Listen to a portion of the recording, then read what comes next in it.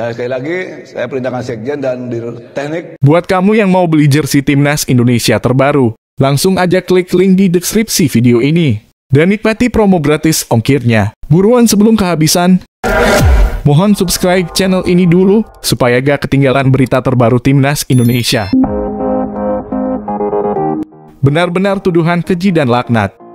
Ketum PSSI sampai harus ambil keputusan ngomong gini usai bawa timnas Indonesia U16 juara Piala AFF.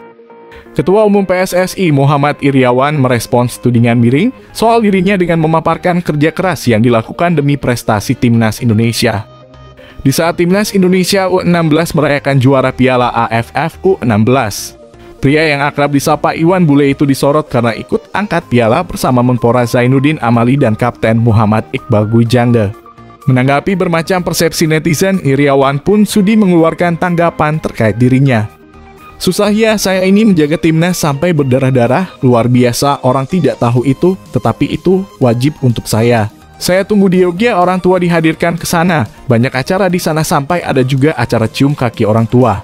Biasa netizen wajar memang ujarnya saat ditemui dalam laga pembukaan kompetisi Elite Pro Academy Senin 15 Agustus 2022.